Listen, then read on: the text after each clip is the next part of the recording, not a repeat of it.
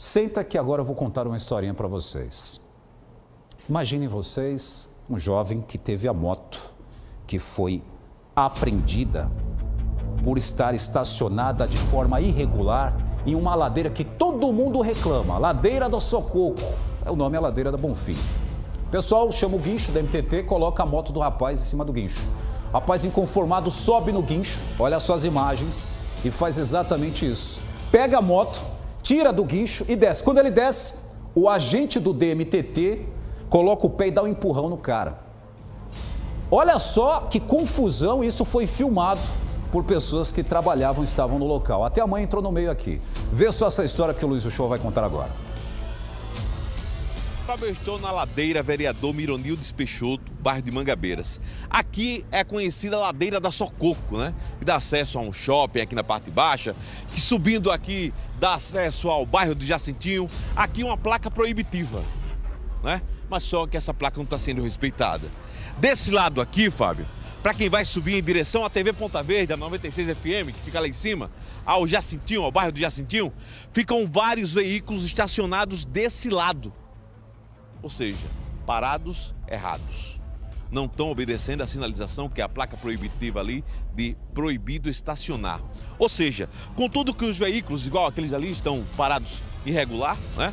Eles param ali e os outros veículos ficam desse lado aqui, aqui fica um trânsito horrível, horrível. Fica só uma, uma via estreita para que os carros possam subir e descer. Aí fica competição.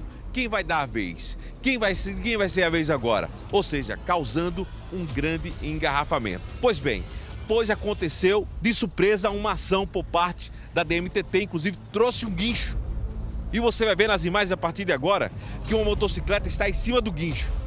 Mas só quando a DMTT está, já guinchou a motocicleta e vai também subir um veículo em seguida, o proprietário da motocicleta chega e você vê aí nas imagens, ó, começa a tirar os cabos, cabos de aço que segura a motocicleta e desce. Quando ele vai descendo, um agente da DMTT dá um empurrão e ele cai nesse momento.